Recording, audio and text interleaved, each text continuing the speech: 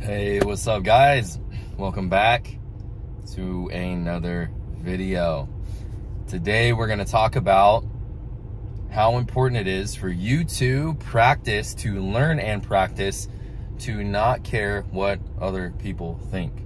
So today I'm just kind of ripping no script. Uh, I didn't even write and get coffee today and collect my thoughts, but I did uh, want to make a video because this topic was on my heart. So I think it's the most important thing or one of the most important things that we can learn to do in our lives, which is, as Dr. Wayne Dyer puts it, learn to be independent of the good opinions of other people.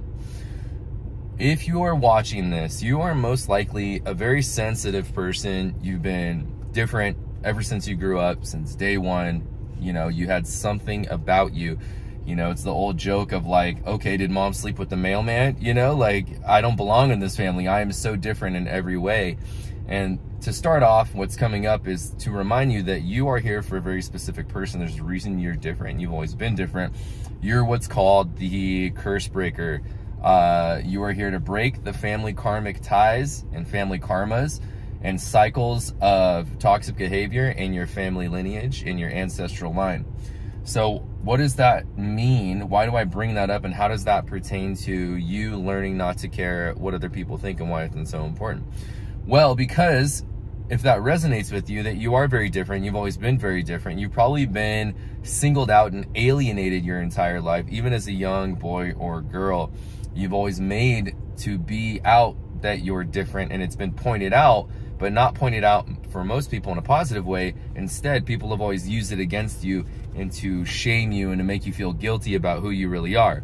But they only did this, you know, teachers, friends, family members, because they didn't know what they were doing, that they're asleep and they're unconsciously triggered by the light that you bring. The fact that you've always stood out and garnered attention even when you're not trying, especially when you're not trying, that makes people jealous because people who are insecure or aren't healed or at whole or at peace with themselves, they need to put other people down in order to make themselves feel better. And the people that naturally stand out, well, here they are putting all this time and energy and effort into be special and to be noticed and to be liked in order to compensate for their own lack of worthiness and love.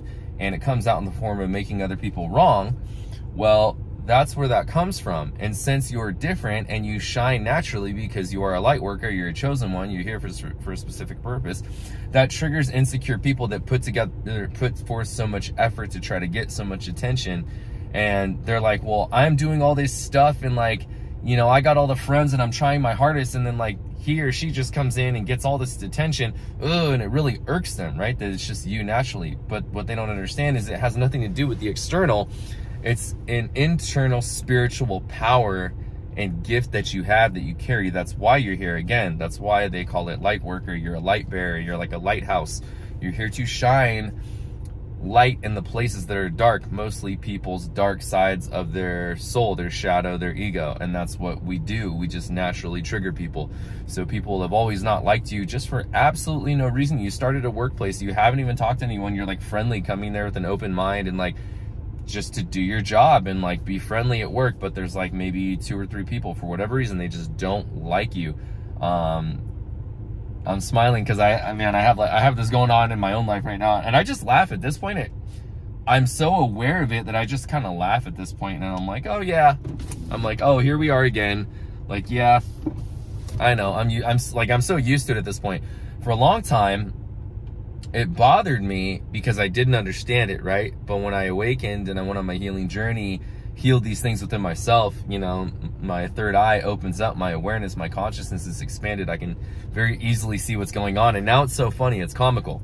So why is this all important? Why am I even talking about this? It all pertains to how important it is for you to learn to not care what other people think and to instead as you've been programmed to be shamed for your uniqueness and your differences, to learn to not give a what anyone thinks except for you, and instead learn to embrace your unique your new uniqueness and understand that this is your gift, this is your power. It was given to you for a reason. It's like that for a reason, because when you learn to embrace who you really are, partly by being independent of the good opinions of other people, not caring what other people think at all, you're really stepping into your power and your purpose, your happiness, your fulfillment, your abundance, your sense of safety and security. You're embodying what it means to be an empowered, healed individual because now you don't care what other people think. You're just doing you to the fullest. You're really shining bright and you're doing what you came here to do on earth which is light up the darkness. Other people are going to, and the funny thing is, other people are going to be even more triggered by it because now you're even more authentic and you're really shining your light, you're embracing your power. And now when they can't get to you or like, you know, you know what I mean, mess oh my gosh, it really triggers them. But it really doesn't matter at that point because you don't even care because you've learned to embrace who you are, partly by not caring what other people think.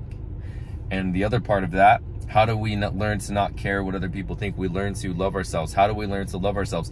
By speaking up for yourself, by standing up for yourself, by understanding and standing in your power, by doing what you want to do, regardless of what other people think of it. As you start to do the things that you want to do in your life that'll bring happiness and joy and fulfillment into your life, your light begins to shine brighter. You're living a more happy and fulfilling life. This is you loving yourself by doing and honoring what it is you want regardless of what you've been brainwashed and programmed to think. So as you do this, you it becomes such an incredible power for so many reasons. You're learning to set boundaries, you're learning to love yourself, you're you're discovering and creating the identity of who you truly are, your authenticity, what you really really like. You know, you used to always not uh, to like to wear those things, but you now realize you only used to not like to wear those things because your current friend group at the time thought they were stupid too, but you actually did like it. So you put on this mask in order to be liked by these people that didn't even really care about you in the first place, just to be liked for approval because again, since you were shamed about being who you truly are as a little kid by those around you because they were triggered, you learn to sacrifice who you are and what you really want so that you could be liked by other people because that was the survival mechanism we needed as kids in order to get the love and attention that we needed that everyone else was getting that we didn't get because they were triggered by us instead of, you know, uh, nurturing us of our and helping us learn to embrace our own uniqueness. So we've got to learn to not care what other people think. And so I'll give you some examples about this. And I'm just here to remind you guys this, like you know this already. You get a new hairstyle. You get a new hairstyle and you walk into work or whatever, you're just walking around, and the first person that sees you goes, oh my god, your hair, like, okay, that's different. You know what I mean? But clearly they don't like it and they're judging you. It's got nothing to do with you. It's them. They're triggered because you have the courage to change and, and embody and, and create a new you know, persona, a new uh, level of your life. And this hairstyle is just the physical manifestation of it. But they get triggered by it, so they make some snarky comment because they wanted to change their hair forever, but they're too scared because they're worried about what other people think. So this one person judges you about your hairstyle, right? But then you go into the grocery store and this uh, very handsome man or this very beautiful woman gives you a compliment and they go, go, I just want to say, I can tell you just got your hair done man, you your hand you look so handsome. Your haircut is amazing. And you're like, dang, okay. So I was mixing it up, and this other person told me making him feel all secure, like I didn't like it, you know. Or it's like, hey, I just want to tell you, you I can tell you just got your hair done. You look beautiful. You know, it's like handsome man gives you a compliment. You're sitting there like, oh my god, oh my god. These girls at work were sitting here hating on me, like, and I was feeling kind of insecure about it. And then this like gorgeous man comes out. You know what I mean? So why do I bring that up? Because look, you go to another place, someone's to have another opinion. Other people are to have another opinion. And this isn't just with hairstyles. I just use that as a very baseline, simple example to understand. The point is, no matter what you do in your life, some people are to like it and some people are not. So what are you to do?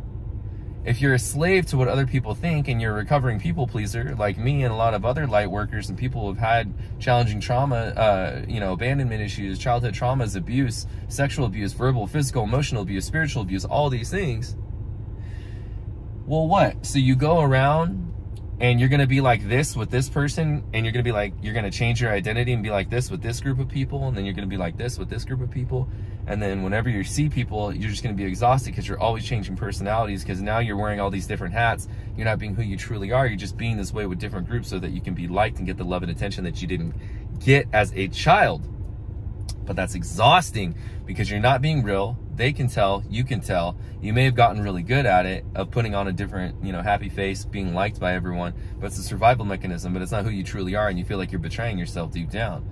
That how do I know this? Why am I saying this? Because this was me, guys. This was me for so long you know, um, being abandoned, I have so many childhood abandonment issues, right? Like uh, being adopted at birth, so abandonment with my first mom, then my uh, foster mom died when I was six, then my dad uh, was never really, he's a great guy, he was very, you know, man, the most emotionally unintelligent. I shouldn't say that, that's like a judgment on him. Um, not the nurturing type, right? Anyway, so uh, I was kind of neglected and abandoned, had all these crazy fights with my sister growing up. So needless to say, I was so desperate for love and attention. The skill set that I mastered and learned was one of charisma, was learning to be an empath and read other people's energy, what they like, what their preferences are, what looks good on them. And I started to dress like them and talk like them. So to the point where it became a skill, and but it was really survival mechanism, a trauma response. It didn't matter who I hung out with. And it, it, it is kind of a skill to this day. And it's funny, I'm kind of reflecting on it now that I, I do get to use it because I have developed it but and what's that look like in a healthy way? But I've basically learned how to get along with anybody. I can literally charm and endear myself to anybody, and especially being an empath, I can immediately tune myself to their energy, what they're interested in. I know how to. I used to learn, I used to do it out of manipulation because I wasn't awake at the time, but basically get people to open up to me and tell me everything about themselves and feel super comfortable and really like me because I learned how to get people to open up so they can just talk about themselves and then be genuinely or false, uh, inauthentically engaged with them so they can be like, oh my God, this guy's really cool. He really gets me. You know, he really, this guy gets me. Oh man, this guy's dope. Like, come and hang out with me and my boys, man. You know, or this girl, oh my God, he really like, he's so cool. He's got, uh, but it was all, it was all fake. You see what I'm saying? It was because I was so insecure that I needed the approval of everybody and everything. I was so afraid to be unliked because that was hitting on my trauma and my root belief that I'm not lovable. I've been rejected by everyone. Nobody cares about me. So I developed this skill set to be liked and loved by everybody, but I was being fake as hell. And by doing that, I had zero self-worth because I wasn't doing anything for me. I was only doing it to be liked by other people. So this is why it's so important for you to learn to be independent of the good opinions of other people and learn to what it really means to be you to embody who you are and your preferences. You want you are um someone who just wants to dye your hair pink. You should do that because you want to do it. Screw what everybody else thinks. Someone's going to have opinion about it anyways you know oh uh, you like really wearing like extra baggy jeans right now. Like okay wear baggy jeans even though skinny jeans are in. Or i like to wear skinny jeans even though baggy jeans are like i'm just using silly examples but i'm see what i'm saying? You have a dream in your life about going on and owning a small business as an artist but everybody shamed you and told you it's not possible. This is a bigger more important example. You know that your purpose and journey is to speak on YouTube or in front of people like I am, but you may be so crippled by the opinions of other people that you won't even get started. So you're having this yearning in your soul to do this thing, but you living your life, you enjoying your life is being inhibited and crippled by the opinions of other people because you're so worried about what other people think. So again, how do we get over this? You become aware you become aware that other people's opinions have nothing to do with you and that how people treat you is simply a projection of their own insecurities and unhealed or healed being. You learn to be independent of good other people, uh, the good opinions of other people by loving yourself. What does that mean exactly? What does that look like?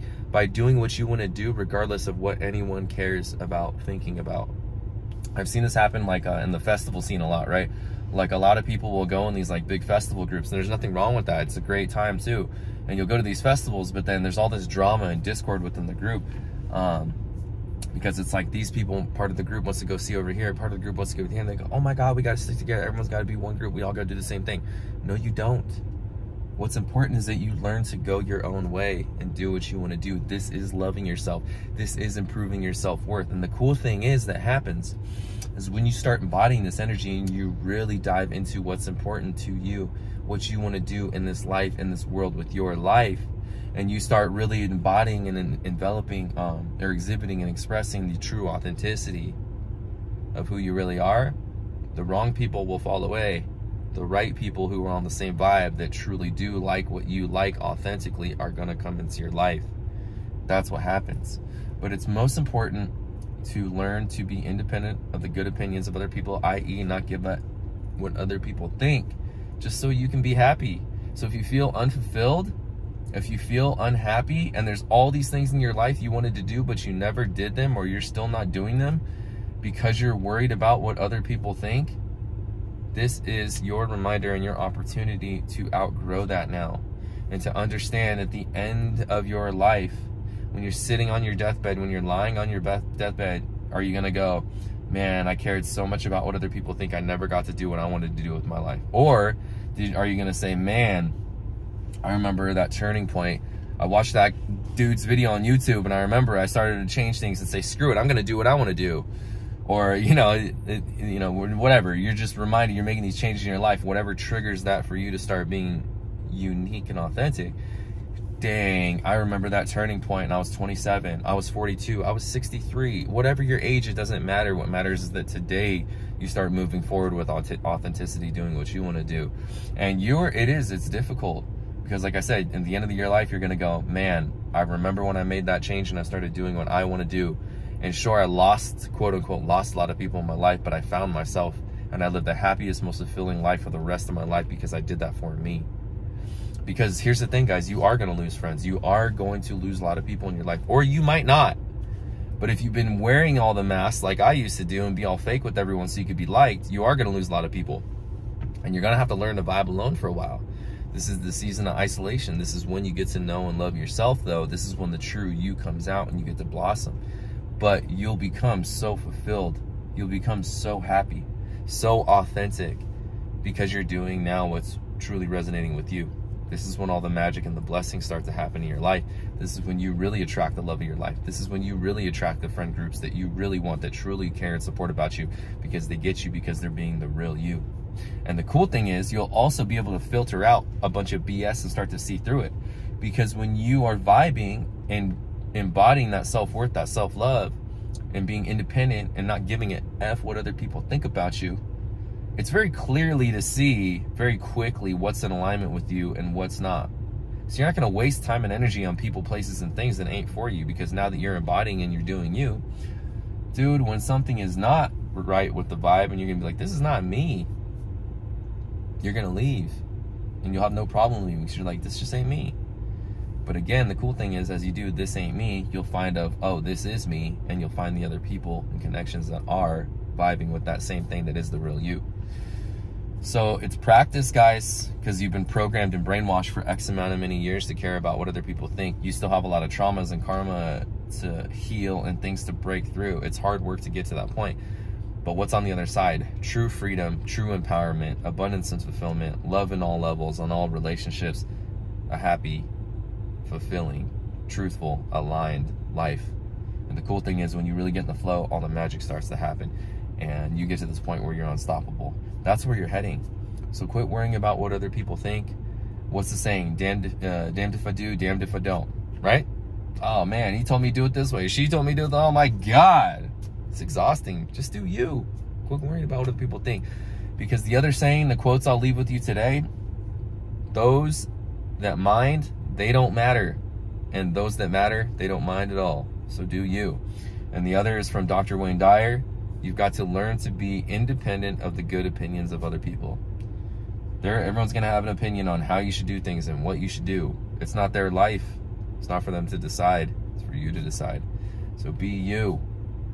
You're awesome. You're amazing. Regardless of what everyone's told you in the past, you've been maybe shamed for your differences. Now you get to learn to love and embrace them. Now you understand why you were shamed. So now you get to be new, you new, the new you, and you will blossom into a whole new beautiful life. So that's what I got for you today, guys. Love you very much, and I'll see you soon. Peace.